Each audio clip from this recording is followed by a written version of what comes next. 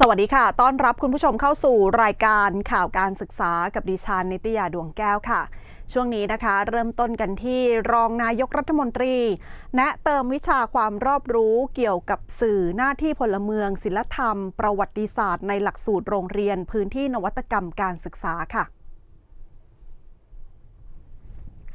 นายวิษณุเครืองามรองนายกรัฐมนตรีเป็นประธานในพิธีเปิดการประชุมสัมมนาผู้บริหารโรงเรียนไทยรัฐวิทยาครั้งที่ 40 ประวัติศาสตร์ที่ไม่ควรลืม พร้อมบรรยายพิเศษตอนหนึ่งว่า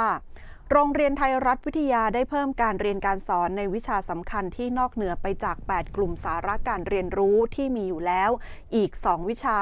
คือวิชาความฉลาดรู้เรื่องสื่อ กับวิชาหน้าที่พลเมืองและศิลธรรม และในปีการศึกษา 2565 นี้ ก็ได้เพิ่มการเรียนการสอนวิชาประวัติศาสตร์ อีกวิชาหนึ่ง ซึ่งขณะนี้กระทรวงศึกษาธิการมีพื้นที่นวัตกรรมการศึกษา ซึ่งโรงเรียนในพื้นที่สามารถจัดการศึกษาได้หลากหลาย ดังนั้นถ้าเป็นไปได้ตนขอฝากผู้เกี่ยวข้องว่า ในพื้นที่นวัตกรรมการศึกษานั้น อาจนำวิชาความรอบรู้เกี่ยวกับสื่อ วิชาหน้าที่พลเมืองศิลธรรม และวิชาประวัติศาสตร์ ใส่ไว้ในหลักสูตรของโรงเรียนพื้นที่นวัตกรรมการศึกษาด้วย จากนั้นศาสตราจารย์กิติคุณ ดร วิษณุ